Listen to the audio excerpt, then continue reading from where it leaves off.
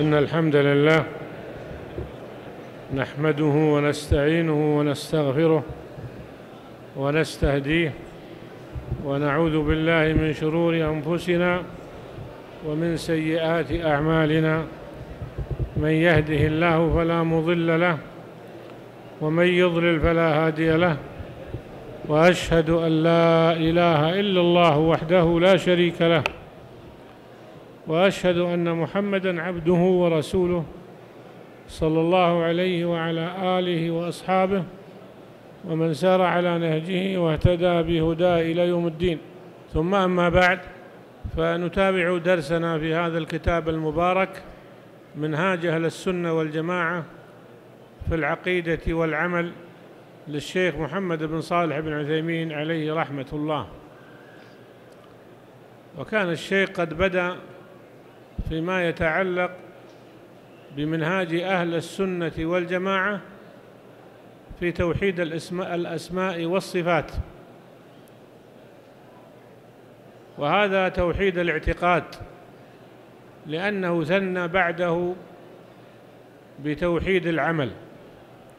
وهذا التوحيد توحيد الأسماء والصفات الذي شرحه الشيخ هو توحيد المعرفة والإثبات. توحيد المعرفة والإثبات. والذي بعده هو توحيد العمل والقصد. لكن هل أكمل توحيد المعرفة والإثبات؟ لأن التوحيد كما تعلمون ينقسم إلى ثلاثة أقسام. توحيد الأسماء والصفات وتوحيد الربوبية وتوحيد الألوهية. وهذه لها جوانب في المعرفة والإثبات ولها جوانب في العمل. ولهذا فإن من أسماء الله عز وجل الرب ويدخل تحت هذا توحيد الربوبية.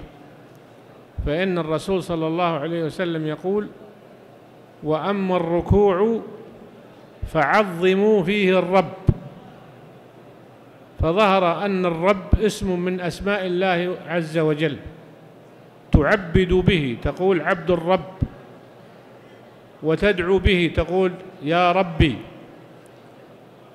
فهو مندرج في الأسماء والصفات. وكذلك توحيد الإلهية فإن الإله من أسماء الله عز وجل. الإله من أسماء الله عز وجل فله جانب معرفي وله جانب عملي أما الجانب المعرفي هو أن تشهد أنه لا يستحق العبادة إلا الله فهذا جانب معرفي لكن في الممارسة العملية هل تمارس ذلك؟ هل أنت لا تتوجه بالعبادة إلى غير الله عز وجل؟ أو إلى الله عز وجل. فإذا في هذا يندرج توحيد الربوبية وتوحيد توحيد الإلهية في توحيد المعرفة والإثبات. وهذا يفسر لنا تركيز العلماء القدامى في في كتبهم على توحيد الأسماء والصفات. البخاري في صحيحه مثلا كتاب التوحيد ركز فيه على توحيد الأسماء والصفات. لأنه في الحقيقة يشمل أنواع التوحيد الثلاثة. والخلل الذي يأتي في العبادة إنما يأتي من الخلل في توحيد المعرفة والإثبات. كذلك ابن خزيمة لما كتب كتابه في التوحيد فإنه ركز على الأسماء توحيد الأسماء والصفات. ولهذا سماها الشيخ هنا توحيد الاعتقاد لأنه معرفة بالقلب. وإن كان توحيد العمل داخل في الاعتقاد لكن فيه ممارسة عملية. فبعد أن أوجز الشيخ الحديث في ما يتعلق بتوحيد الأسماء والصفات انتقل إلى طريقة أهل السنة والجماعة في عبادة الله عز وجل. ناقش مسألة فيما يتعلق بالمنكرين للأسماء والصفات فقال إنهم جمعوا بين التمثيل والتعطيل. والمشهور عنهم أنهم معطلة. ولهذا لما آه، رد ابن القيم قال الجهمية والمعطلة. لكن يصح عليهم أن يطلق عليهم أنهم ممثلة ومعطلة. لماذا؟ لأنهم ما فهموا من نصوص الأسماء والصفات إلا التمثيل ولهذا أنكروه فهم مثلوا ثم عطلوا. فهم ما فهموا من ظاهر النصوص من الآيات والأحاديث إلا أن ظاهرها هو الذي ظاهر المسميات التي عند المخلوقين. فظنوا أن هذا تمثيل فنفوا هذا التمثيل. فهم وقع عندهم التعطيل التمثيل أولا ثم عطلوا. ولهذا قال في آه، الشيخ قال ولهذا يجب عليكم أيها الإخوة أن لا تتخيلوا أي شيء من كيفيات صفات الله عز وجل لأنهم تخيلوا أن هذا الظاهر هو صفات الله هو معنى اللفظ. فهذا تمثيل ثم عطلوه. قال لا أقول لا لا تثبت المعنى لأن المعنى يجب أن يثبت لكن تخيل كيفية تلك الصفة لا يمكن أن تتخيلها وعلى أي مقياس تقيس هذا التخيل. هذا في آخر صفحة 88 ثم قال لا يمكن أيضا أن تتخيل كيفية صفات الله عز وجل لا بالتقدير ولا بالقول.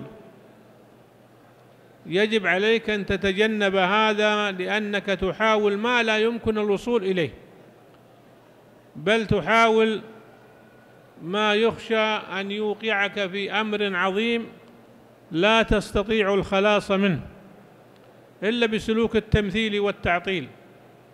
وذلك لأن الرب جلت عظمته لا يمكن لأحد أن يتخيله على كيفية معينة. ومن فعل ذلك فقد قفى ما ليس له بعلم ما ليس له به علم. وقد قال الله تعالى ولا تقف ما ليس لك به علم. وإن تخيله على وصف مقارب بمثيل وإن تخيله على وصف مقارب بمثيل فقد مثل الله. والله سبحانه وتعالى يقول ليس كمثله شيء وهو السميع البصير. لا يمكن ابدا أن تتخيل كيفية صفات الله عز وجل لا بالتقدير ولا بالقول. يجب عليك أن تتجنب هذا لأنك تحاول ما لا يمكن الوصول إليه. كرر العبارة طبعا هنا طبعا قال وبهذا نعلم أن من أنكر صفات الله أنكرها لأنه تخيل اولا. ثم قال هذا التخيل يلزم منه التمثيل ثم حرفوا. ولهذا نقول إن كل معطل ومنكر للصفات فإنه ممثل. سبق تمثيله تعطيله. مثل اولا وعطل ثانيا. ولو أنه قدر الله حق تقديره ولم يتعرض ولو أنه قدر الله حق تقديره ولم يتعرض لتخيل صفاته سبحانه ما احتاج إلى هذا الإنكار وإلى هذا التعطيل. وهذه آه، القضية ناقشها ابن آه، ابن عثيمين عليه رحمة الله بشكل موسع في آه، كتابه القواعد المثلى. لما ناقش قاعدة هل ظاهر النصوص مراد أم غير مراد؟ ظاهر النصوص الذي هو القرآن النص إذا قيل نص القرآن أو نص السنة هل هو مراد ولا غير مراد؟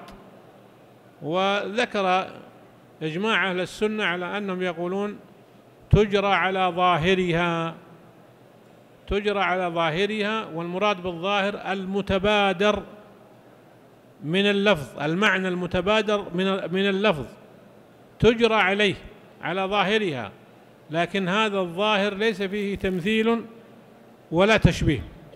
ورد على الذين ذكروا أشياء وقالوا إن الظاهر فيه فساد وبين أنهم أخطأوا خطأ بينا في مرادهم لمعنى الظاهر. فإن ظاهر النصوص لا يمكن أن يكون فاسدا ولا يمكن أن الرسول صلى الله عليه وسلم يخاطبهم بما ظاهره فساد. وأنها لو تحتاج تأويل. ثم كتم الرسول صلى الله عليه وسلم هذا التأويل عن الأمة فإنه ما بلغ البلاغ المبين. وهذه كلها لوازم فاسدة. فالواجب أن الإنسان يجريها على ظاهرها. لكن ليس المراد الظاهر الذي هم يفهمونه فإنهم يفهمون من ظاهرها الفساد. يرون أن ظاهرها فاسد. ويحتجون بما لا حجة لهم فيه. من أمثلة ما احتجوا به عبدي مرضت فلم تعدني. فقالوا لو قلنا بالظاهر هنا لكان يوصف الله بأنه يمرض. وهذا ليس هو ظاهر النص لأن هذا النص مفسر في آخره. لأنه في آخره قال مرض عبدي فالمرض ليس واقع على الله عز وجل فإنه صفة نقص. فهذا ظاهره مفسر لكنهم من باب التشويش على أهل السنة يريدون أن لا يسلموا بالظاهر يحتجون بما لا حجة فيه. وناقشهم مناقشة جميلة في, في هذا الباب وذكر أكثر ما احتجوا به وأبطله عليهم بالدليل.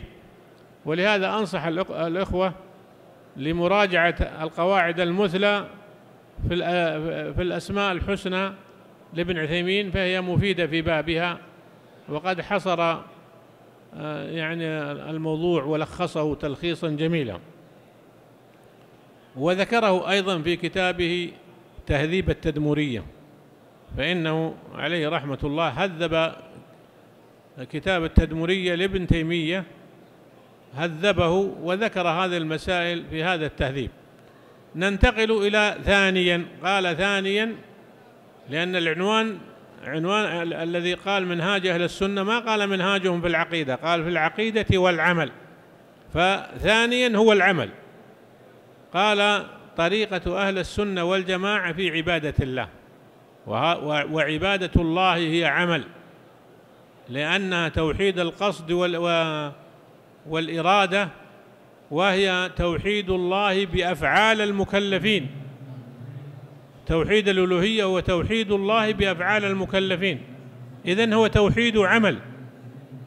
فصح أن يطلق على توحيد المعرفة والإثبات توحيد العلم وأن يطلق على توحيد الإلهية وتوحيد القصد والطلب بأنه توحيد العمل. لأنه تقربك إلى الله بالعمل هذا هو توحيد الإلهية. تقربك إلى الله بالعمل وبالقصد فهذا توحيد الإلهية. فقال أما كونهم يعبدون الله لله عز وجل يعني هو ذكر عبارة مختصرة يقول أن أهل السنة والجماعة يعبدون الله يعبدون الله بالله في الله. يعبدون الله بالله في الله.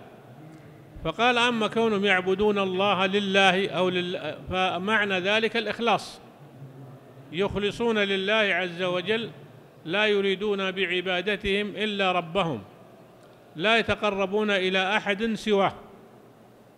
إنما يبتغون إلى ربهم الوسيلة أيهم أقرب ويرجون رحمته ويخافون عذابه. إذن هم يعبدون لله يعني مخلصين العبادة لله عز وجل. وهذا شرط في قبول العمل كما تعلمون. فلا بد أن يكون المحرك والدافع للعبد آه، في عبادته أن يكون يريد بها وجه الله عز وجل ومخلصا لله في عبادته. قال ما يعبدون لأن فلانا يراهم وما يعبدون الله لأنهم يعظمون بين الناس ولا يعبدون الله لأنهم يلقبون بلقب العباد أو بلقب العابد لكن يعبدون الله لله. فهو ذكر الأغراض التي تكثر عند بعض الناس منها الرياء أنه يعبد ليرائي بذلك الناس ومنها طلب المكانة عند الناس. يعني يجتهد في العبادة ليشار إليه بالبنان ويقال عالم وشيخ ونحو ذلك من أغراض الدنيا. أو يتلقبون بالعبادة يعني يحج ليقال له حاج أو نحو ذلك. فهذه الأغراض الدنيوية كلها ليس من منهج أهل السنة والجماعة أن يعبدوا هذه العبادة المنحرفة وإنما يخلصون لله عز وجل في عبادتهم. قال وأما كونهم يعبدون الله بالله أي هم مستعينين بالله. وهذا مأخوذ من قوله تعالى إياك نعبد وإياك نستعين. فهم لا يرون من أنفسهم حولا ولا قوة وإنما يعبدون الله باستعانة الله عز وجل أن يعينهم على العبادة. لا يمكن أن يفخروا بأنفسهم أو أن يروا أنهم مستقلون بعبادتهم عن الله بل هم محققون لقول الله تعالى إياك نعبد وإياك نستعين. إياك نعبد يعبدون الله لله وإياك نستعين يعبدون الله بالله فيستعينونه على عبادته تبارك وتعالى. وأما كونهم يعبدون الله في الله أي في دين الله. يعبدون الله في الله يعني في دين الله في الدين الذي شرعه على ألسنة رسله.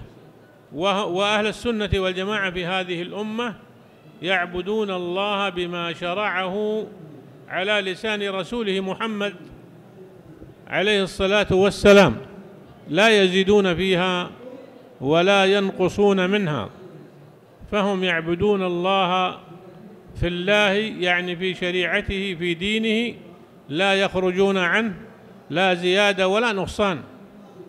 لذلك كانت عبادتهم هي العبادة الحقه السالبة من شوائب الشرك والبدع. لأن من قصد غير الله بعبادته فقد أشرك به. ومن تعبد لله بغير شريعته فقد ابتدع في دينه. والله سبحانه وتعالى يقول وما أمروا إلا ليعبدوا الله مخلصين له الدين حنفاء ويقيموا الصلاة ويؤتوا الزكاة وذلك دين القيمة. فعبادتهم لله في دين الله لا يبتدعون ما تستحسنه أهواؤهم. قال لا أقول ما تستحسنه عقولهم لأن العقول الصحيحة لا تستحسن الخروج عن شريعة الله. لأن لزوم شريعة الله مقتضى العقل الصريح. ولهذا كان الله سبحانه وتعالى ينعى على المكذبين لرسوله عقولهم ويقول بل أكثرهم لا يعقلون. يعني ما ينحرف منحرف عن دين الله عز وجل ألا وعقله ليس كاملا ولا مستقيما. يعني العقل أصاب الانحراف أصابه في عقله فانحرف سلوكه. قال ولو كنا نتعبد لله بما تهواه نفوسنا وعلى حسب أهوائنا لكنا فرقا وشيعا لأن العقول متفاوتة والأهواء متفاوتة. كل يستحسن ما يريد فيتعبد لله به وحينئذ لا يتحقق فينا وصف الله سبحانه وتعالى في قوله وإن هذه أمتكم أمة واحدة. وهذا يدل على أن المراد بالأمة الواحدة التي لا تفرق فيها. والمراد بالتفرق هنا هنا هو التفرق في العقيدة وتفرق البدع. وأما الاختلافات الفقهية فهذا مما يحصل بين خيار الناس فإن الصحابة حصل بينهم اختلافات في مسائل كثيرة في الفقه بحسب ما يظهر لأحدهم من اجتهاد في الدليل وهذا لا يسمى يعني الاختلاف المذموم هو ما كان في أصول الدين أو في العقيدة أو في المنهج فهذا خلاف مذموم لأنه يفرق الأمة وأي شيء يفرق الأمة فهذا لا شك أنه مذموم. أما مجرد الاختلاف الفقهي فهذا لا يفرق الأمة ولهذا تبقى أمة واحدة منهجها واحد عقائدها سليمة يتحقق معنى الأمة في هذا. ثم ضرب الشيخ أمثلة وقال ولننظر إلى هؤلاء الذين يتعبدون لله بالبدع التي ما أذن الله بها ولا أنزل بها من سلطان كيف كانوا فرقا؟ يكفر بعضهم بعضا ويفسق بعضهم بعضا وهم يقولون أنهم مسلمون. لقد كفر بعض الناس بعضا بأمور لا تخرج الإنسان إلى الكفر ولكن الهوى أصمهم وأعمى أبصارهم وهذا الذي لا يكون خلافا فقهيا. يعني الأمر الذي ينبني عليه التكفير فهو من أصول العقائد من العقيدة. فلا يقال هذا خلاف فقهي وإنما خاصة إذا كان التكفير بأمر قد وقع الإجماع على خلافه مثل التكفير بارتكاب الكبيرة. فإن الإجماع قد وقع على خلافه. أما ما يتعلق بالشخص المعين هل هل وقع في كفر أم لم يقع في كفر؟ فهذه مسائل اجتهادية. إذا صار أصوله سليمة يعني أصوله سليمة مثل الذين اختلفوا مثلا في الحجاج هل وقع في كفر؟ هل استهان بالشريعة؟ فبعضهم قد يرميه بالكفر. وبعضهم يرى أنه لا زال في المعصية ولم يقع في الكفر. لكن هؤلاء منهجهم واحد أنهم لا يكفرون مرتكب الكبيرة وإنما يكفرون بمكفر فمن رأى أنه استهان بالشريعة وأنه لا يرى تحكيمها وأنه يعارضها عن عمد أو نحو ذلك فقد يكفره ومن لم يرى ذلك فإنه لا يكفره.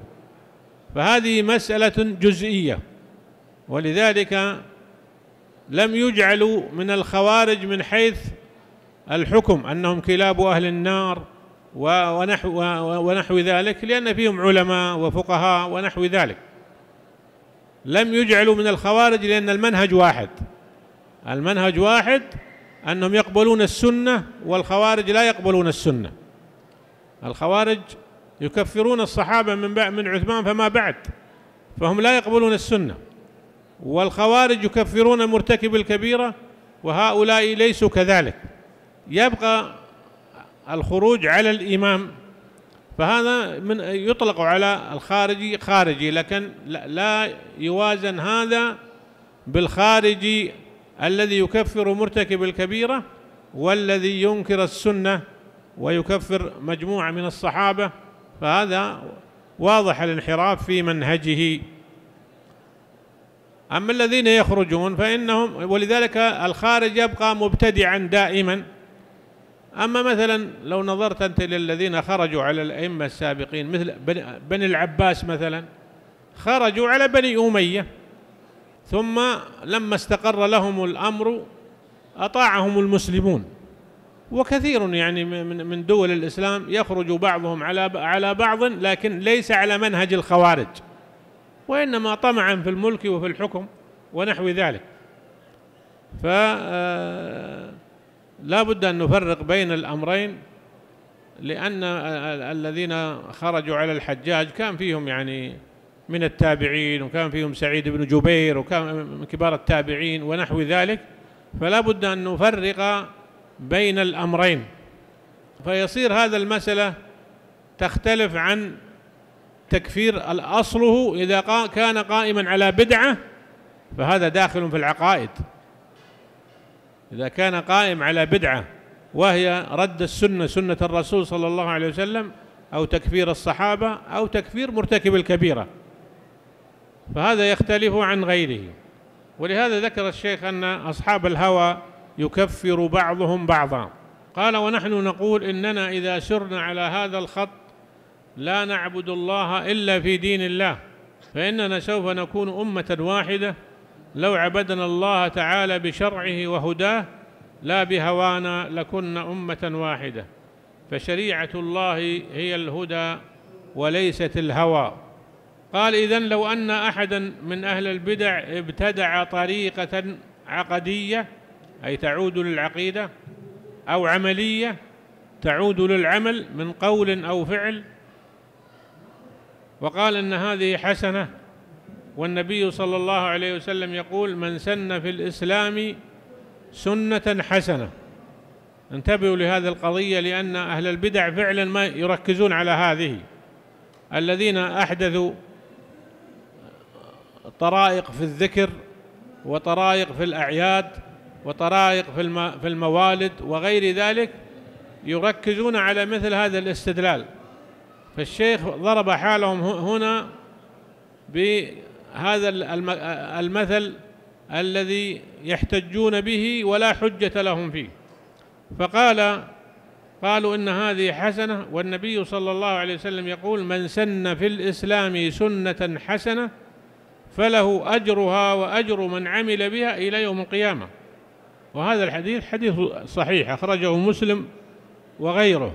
قال قلنا له بكل بساطة هذا الحسن الذي ادعيت أنه في هذه البدعة هل كان خافيا لدى الرسول عليه الصلاة والسلام؟ يعني هو لما يأتي ببدعة ويقول هذه بدعة حسنة فتوجه له هذا السؤال تقول هل هذا الحسن في هذه البدعة التي ذكرت كان خافيا على الرسول صلى الله عليه وسلم؟ أو كان معلوما عنده ولكنه كتمه. يعني بين أمرين إما أن الرسول يجهل هذا هذه البدعة اللي قلت أنت إنها حسنة وأنها من الدين أو أنه علم ذلك وكتمه. ولم يطلع عليه أحد من سلف الأمة حتى ادخر لك علمه. والجواب إن قال بالأول فشر. يعني إن قال إن الرسول صلى الله عليه وسلم لا يعلم ذلك. وإن, وإن قال بالثاني فأطم وأشر. نطبق هذه على بدعة المولد مثلا. الذين يحتفلون بمولد الرسول صلى الله عليه وسلم يوم 12 من هذا الشهر. الذين يحتفلون بهذا الاحتفال. هل يرون أنهم يتقربون إلى الله؟ ويأتون عملا حسنا أم يرون أنهم أتوا ببدعة ظلماء هم يرون أنهم يتقربون إلى الله وأن هذا يشمله البدعة الحسنة. لكن يقال لهم هل الرسول صلى الله عليه وسلم علم أن ذلك من الدين؟ أن الاحتفال بمولده صلى الله عليه وسلم علم أن ذلك من الدين أم لم يعلمه؟ فإن قالوا علم ذلك نقول هل بلغه الأمة؟ أم كتمه عنهم؟ فهم بين أمرين أحلاهما مر إما أن يقولوا أنه علمه فيلزمهم أنه كتمه. وإما أن يقولوا لم يعلمه فيلزمهم أنه أنهم أعلم من الرسول صلى الله عليه وسلم وأنه جهل ذلك. لاحظتم؟ ولذلك ما فعله الصحابة بل ما فعله الخلفاء ولا حدث حدثت هذه الموالد إلا تقليدا للنصارى والذي أحدثها هما العبيديون الذين يسمون أنفسهم بالفاطميين ينتسبون إلى فاطمة وهو نسب مزور وهم من الباطنية فهم الذي أحدثوا مثل هذه الموالد. طيب كيف انتشرت في الأمة ونحو ذلك؟ يعني البدع كثيرة انتشرت في الأمة. البدع كثيرة تنتشر في الأمة فمن وفقه الله عز وجل للأدلة الصحيحة عرف أن هذه بدعة.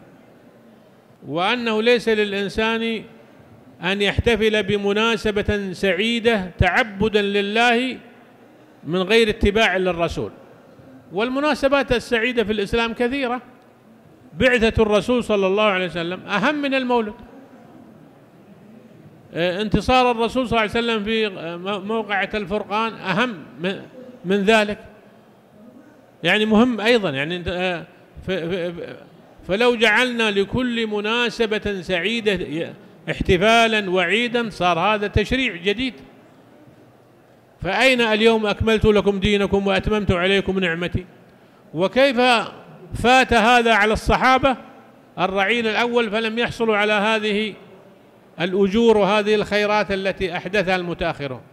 هذا كله لا أصل له والدين قد كمل. فهنا لا ينطبق قولهم قولهم عليه أن هذا بدعة حسنة. ولننظر إلى سبب قول الرسول صلى الله عليه وسلم من سن في الإسلام سنة حسنة. فإنه أول أولا قيد قال من سن في الإسلام يعني شيء من الإسلام.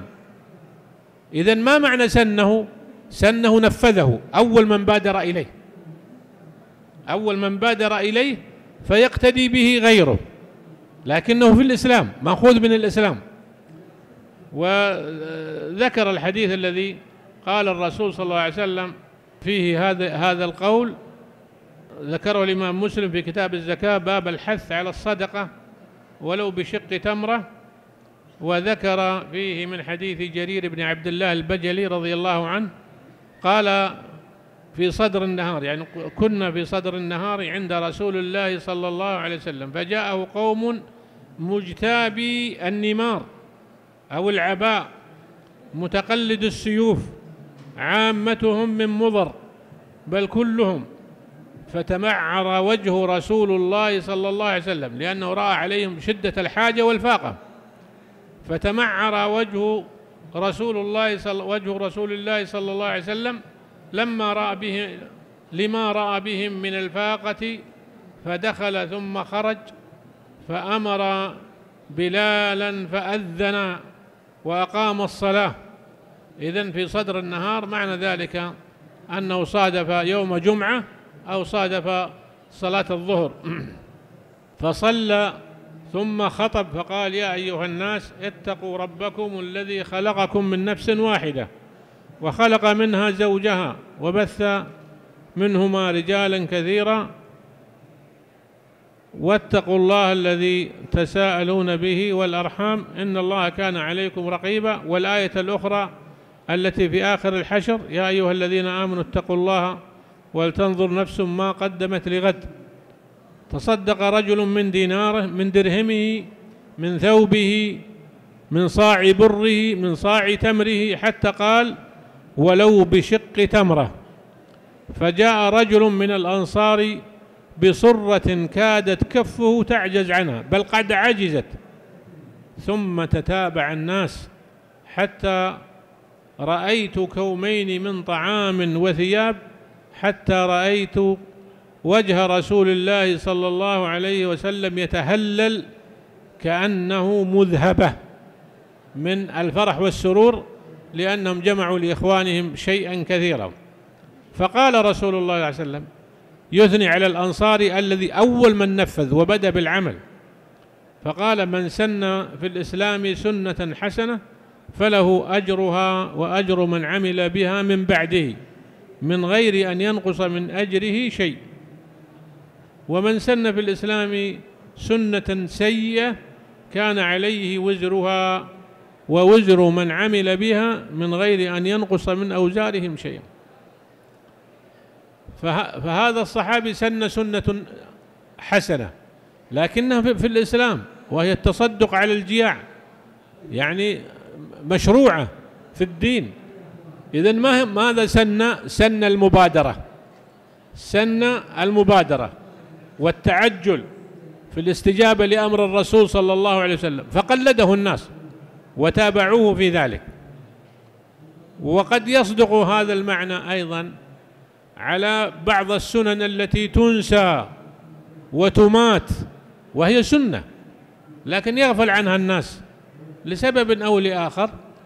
فيأتي رجل فيبادر بإحياء هذه السنة فيدخل تحت مسمى هذا الحديث. لكنها في الإسلام من دين الله عز وجل يعني سنة نسيت ما هي منتشرة عند الناس فأحياها رجل فهو يدخل في ذلك. ومقابل هذا من جاء بسنة, بسنة من سن سنة وهو في دين الإسلام وأتى بشيء جديد مبتدع فقلده الناس لمكانته العلمية أو الاجتماعية أو نحو ذلك وتتابعوا على هذا الانحراف فإن عليه من الوزر مثل أوزار الذين اتبعوه. ولننتبه القول الأول في الإسلام يعني من دين الإسلام والقول الثاني وهو في دين الإسلام وليس من دين الإسلام. لكن وهو في الإسلام وجاء بشيء أدخله في هذا الدين وهو بدعة. فإن قال إن الرسول عليه الصلاة والسلام لا يعلم حسن هذه البدعة ولذلك لم يشرعها قلنا رميت رسول الله صلى الله عليه وسلم بأمر عظيم حيث جهلته بدين الله عز وجل وشريعته.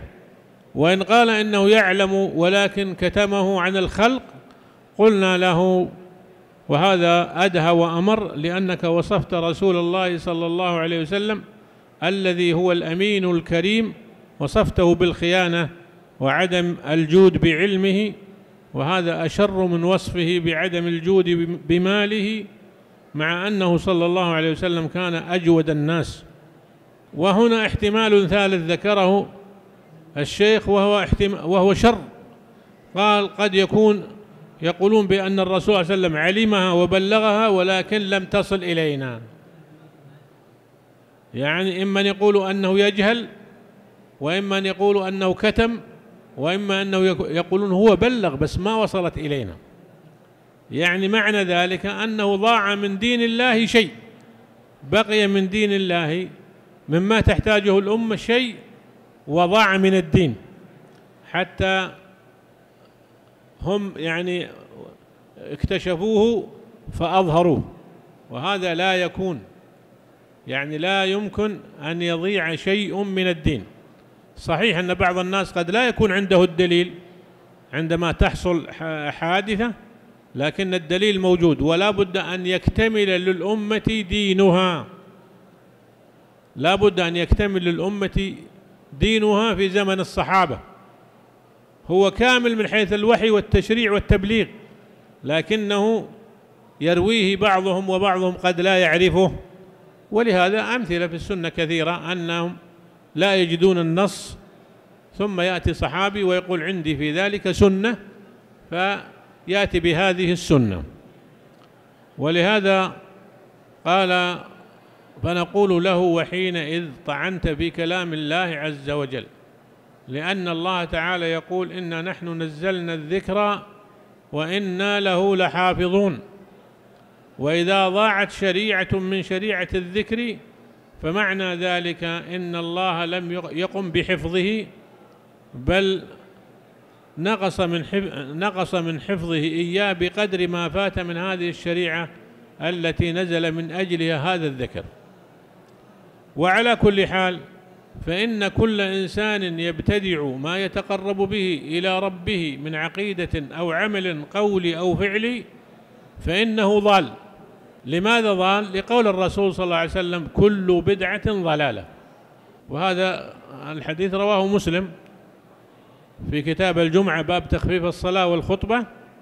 فكل بدعة ضلالة وهذه كلية عامة. كل فهي من ألفاظ العموم لا يخرج منها شيء ولا يستثنى منها شيء إطلاقا. فكل بدعة في دين الله فإنها ضلالة.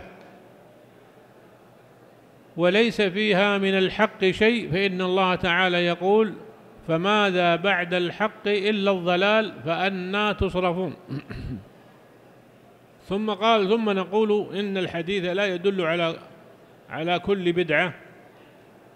يعني من سن في الإسلام حسنة لا يدل على استحسان البدع. وما خرج عن شريعة الرسول ليس من الإسلام وهو قال من سن في الإسلام. بل قد قال من سن في الإسلام سنة حسنة. وبهذا نعرف أنه لا بد أن تكون هذه السنة مما أثبته الإسلام وإلا ليست سنة في الإسلام. ومن علم سبب الحديث الذي ذكرناه علم أن المراد بالسنة المبادرة بالعمل. أو السبق إلى تنفيذ سنة كان أسبق الناس بها لأن سبب الحديث معلوم وذكر الحديث الذي مر معنا وهو أن جماعة جاءوا إلى النبي صلى الله عليه وسلم وكانوا فقراء فحث المسلمين على التصدق عليهم فأتى رجل من الأنصار بصرة قد أثقلت يده فوضعها بين يديه صلى الله عليه وسلم. فقال الرسول صلى الله عليه وسلم من سن في الإسلام سنة حسنة فله أجرها وأجر من عمل بها وبهذا عرفنا أن المراد من سنها ليس من شرعها. من سن ليس المراد أنه شرعها وجاء بشيء جديد لكن من عمل بها أولا لأنه بذلك أي بعمله أولا يكون هو إماما للناس فيها فيكون قدوة فيكون قدوة خير وحسنة فيكون له أجرها وأجر من عمل بها إلى يوم إلى يوم القيامة. ثم قال ولا يرد على ذلك ما, ما ابتدع من الوسائل الموصلة إلى الأمور الشرعية. انتبهوا لهذه فإن بعض الناس يعني يحاول أن يجعل تناقض بين ما جاء من بعض الصحابة وبين الأحاديث التي تنكر البدع وتبطل البدع. وما فعله بعض الصحابة ولم يفعله الرسول صلى الله عليه وسلم فهو من باب الوسائل لا من باب الغايات ولا من باب التشريع. فإن الوسائل لها أحكام الغايات الوسيلة التي توصل إلى الغاية. فإذا كانت الغاية مشروع مشروعة فالوسيلة التي توصل إليها وهي غير محرمة فهي, فهي مشروعة. إذا كان الوسيلة من المباحات وهي غير محرمة فهي مشروعة. قال فإنها قال ولا يرد على ذلك ما ابتدع من الوسائل الموصلة إلى الأمور الشرعية فإن هذه وإن تلجلج بها أهل البدع. وقعدوا بها بدعهم تلجلج يعني سووا لجاجة بها. وقعدوا بها بدعهم فإنه لا نصيب لهم منها إلا أن يكون الراقم الماء له نصيب من الحروف بارزة في الماء. يعني كالذي يكتب على الماء فلا تبقى الحروف ثابتة على الماء لأن الماء يغير هذا الرسم. يعني أن هذا التل... هذه اللجاجة وهذا التقعيد منهم باطل. وضرب أمثل على ذلك فمما ذكر من ذلك أنهم احتجوا بجمع القرآن. جمع القرآن في مصحف واحد في عهد عثمان رضي الله عنه. لما جمع في آه، آه، القرآن ووحد في مصحف واحد واحتجوا بالتأليف. يعني كتابة كتب تشرح بعض أحكام الإسلام واحتجوا ببناء دور العلم يعني المدارس ونحو ذلك. قال فقال وغير ذلك مما هو وسائل لا غايات. فهناك فرق بين الشيء الذي يكون وسيلة إلى غاية محمودة مثبتة شرعا لكنها لا تتحقق إلا بفعل هذه الوسيلة. فهذه الوسيلة طبعا تتجدد بتجدد الزمن وتختلف باختلاف العصور. وها هو الله عز وجل يقول وأعدوا لهم ما استطعتم من قوة. وإعداد القوة على عهده عليه الصلاة والسلام غير إعداد القوة في زمننا هذا. فاذا ما أحدثنا عملا معين نتوصل به إلى إعداد القوة فإن هذه بدعة بدعة وسيلة وليست بدعة غاية يتقرب بها إلى الله ولكنها بدعة وسيلة. ومن القواعد المقررة عند أهل العلم أن للوسائل أحكام المقاصد وبهذا أن ما تلجلج به مبتدع الحوادث في دين الله باستدلالهم بمثل هذه القضايا أنه ليس لهم فيه دليل أبدا لأن كل ما حصل فهو وسائل لغايات محمودة. فكلما جدت وسيلة جديدة مثل الميكروفونات في تبليغ الصوت مثل مصانع الأسلحة ونحو ذلك فهي تحقق قاعدة شرعية. تحقق غاية شرعية. والوسيلة مباحة. لا بد أن تكون الوسيلة مباحة. لكن لو كانت الوسيلة محرمة فلا تستخدم. لو كانت الوسيلة محرمة فلا تستخدم. ومثال ذلك إخراج السحر عن الساحر عن المسحور. فإن الذين يذهبون للساحر لإخراج السحر ويقولون هذا الساحر وسيلة لإخراج السحر. إخراج السحر جائز أن تخرج السحر لكن ما هي الوسيلة؟ الوسيلة إن اطلعت عليه بدون أن تذهب للساحر لأن ذهابك للساحر إقرار له على عبادة الشياطين لأنه يستعين بالشياطين. فهذه وسيلة محرمة. فما دامت أنها محرمة فلا تستخدمها. ولو أن رجل قال أنا في المعركة أريد أن أشرب الخمر لأنها تعطيني قوة قلب وإقدام ونحو ذلك وقوة القلب والإقدام في الجهاد مطلوبة مرغوبة لكن بوسيلة مباحة ما هو بوسيلة محرمة. فلا نجيز له شرب الخمر ويقول هذه من الوسائل فيشترط في الوسائل أن تكون مما يباح. كما أن الذين أيضا يتشددون في باب البدع بما لا دليل عليه. يعني الذين يرون مثلا أن بناء مدارس لتعليم القرآن أن هذا بدعة. ويقولون الرسول صلى الله عليه وسلم ما بنى دور يجتمع فيها الناس. وإنما كانوا يدرسون في المساجد. فإذا بني دور لا حرج ما في فرق. وهي وسيلة. قد تكون المساجد تقفل أكثر الأوقات. قد يحتاجون إلى دراسة كثيرة. فهي من جنس الوسائل المباحة. لا حرج في ذلك. يعني لا حرج إذا كانت الوسيلة مباحة. أما إذا كانت محرمة أو مكروهة فهذه تجتنب. فلذلك بعض من الناس يغالي في هذا الجانب ويبدع بما, لي بما ليس بدعة وإنما هو من باب الوسائل ومن باب المباحات. قال فجمع القرآن من تصنيف وما أشبه ذلك كله وسائل لغايات هي مشروعة في نفسها فيجب على الإنسان أن يفرق بين الغاية والوسيلة ولا ناخذ المبدأ الغربي الذي الذي يقولون فيه الغاية تبرر الوسيلة. الغاية تبرر الوسيلة.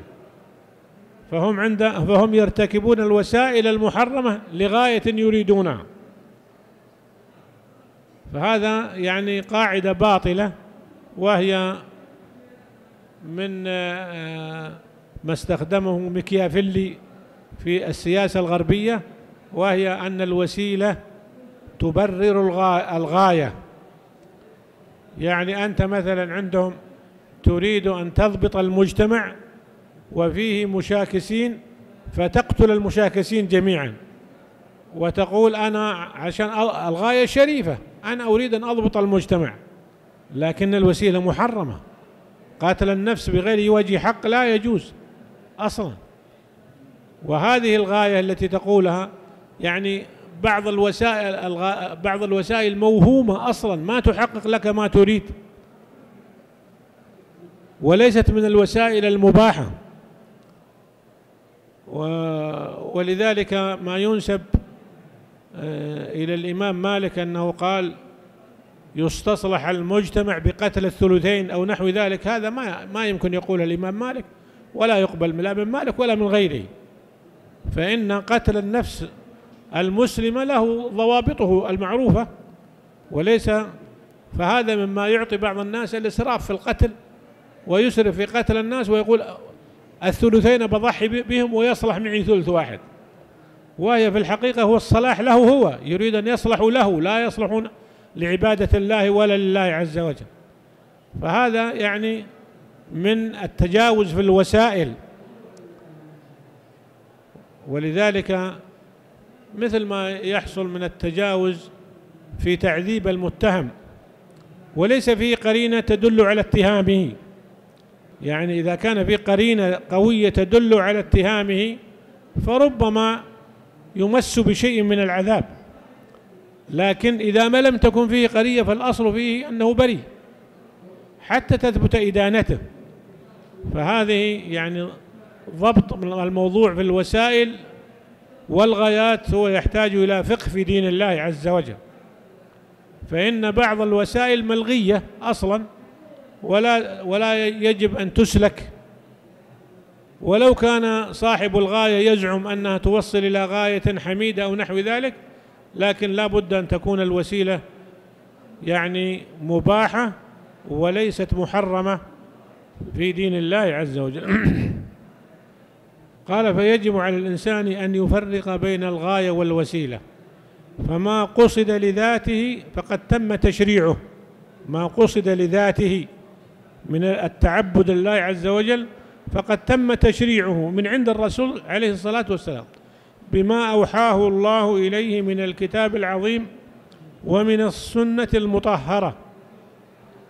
ولدينا ولله الحمد. آية نتلوها في كتاب الله وهي قوله تعالى اليوم أكملت لكم دينكم وأتممت عليكم نعمتي ورضيت لكم الإسلام دينا. فلو كان من من المحدثات ما يكمل به الدين لكانت قد شرعت وبي وبينت وبلغت وحفظت ولكن ليس فيها شيء يكون فيه كمال الدين. يعني كمال الدين من حيث التشريع فهو كامل. ما يحتاج إلى شريعة جديدة البتة. ما يحتاج أن تزيد في الدين ولا أن تنقص منه. لكن الوسائل تتجدد بحسب أحوال المجتمعات. ولذلك مما يشوش به بعض أهل, أهل الجهل على طلاب العلم أنك إذا قلت لهم نريد أن نرجع إلى عهد الرسول والصحابة قالوا تريدنا نرجع إلى عهد الجمال والحمير ونحو ذلك؟ وهذا من باب التشويه فقط. وإلا ما في عالم يحمل علما صحيحا يقول ألغوا هذه الوسائل المباحة الجديدة. ما في عالم يقول ذلك. لكن هذا من باب التشويه. والمراد لما يقال نرجع إلى ما كان عليه الرسول والصحابة المراد في, في منهج التلقي في الدين. من أين يتلقون؟ يتلقون من الكتاب والسنة. هذا هو المراد. والصحابة يفهمون ذلك. يعني لما قال أحد الصحابة ما توفي الرسول صلى الله عليه وسلم إلا ولا طائر يطير بجناحيه إلا وعندنا منه علم. ليس عنده كشف بطيور الدنيا كلها. لكن يريد أن الحلال والحرام منها موضح صفاته من الرسول صلى الله عليه وسلم. له مخلب يأكل اللحوم يصيد بهذا المخلب هذا محرم. خلاص انتهينا. كل طير نطبق عليه هذه القاعدة. كل طير نطبق عليه هذه القاعدة. فكل وسيلة تحدث أو أشياء من ذلك فعندنا القواعد. هذا المراد بالرجوع إلى ما كان عليه الرسول صلى الله عليه وسلم والصحابة. ولذلك نحن لا نحتاج إلى شيء جديد في ديننا. لا نحتاج أن نرجع إلى التوراة ولا إلى الإنجيل ولا غيرها من الكتب. هذا في في معرفة الحلال والحرام والأحكام. لكن في معرفة الزراعة في معرفة الصناعة في غير ذلك هذه تجارب بشرية ما لها علاقة. لكن في أحكامها ما هو الحلال والحرام هذا من الكتاب والسنة. أما كيف نزرع وكيف نصنع وكيف نبني ونحو ذلك فهذه من تجارب البشر لكن مضبوطة بأحكامها. وهذا المراد بتطبيق الشريعة. تطبيق الشريعة أن تنظر في أحكامها هذا مما يحل ولا مما يحرم؟ لما يطالب بتطبيق الشريعة وبعض من الناس يظن أن هذه ليس لها أحكام. ما فيه شيء في الدنيا إلا وحكمه موجود في الكتاب والسنة. لكن قد يجهله بعض الناس نعم قد يجهلون بعضه ما كل أحد يعرفه لكن الأحكام ثابتة في الكتاب والسنة. ما يخرج من ذلك شيء من النشاط الإنساني. النشاط الإنساني كله خاضع للشريعة. فإن النشاط الإنساني إما محرم وهذا تأخذه من الشريعة وإما واجب وهذا تأخذه من الشريعة وإما مكروه وهذا تأخذه من الشريعة. وإما مستحب وهذا تأخذه من الشريعة. وإما مباح وهذا تأخذه من الشريعة. لأن المباح له صفات في الشريعة. نكتفي بما سمعتم وسبحانك اللهم وبحمدك. أشهد أن لا إله إلا أنت أستغفرك وأتوب إليك.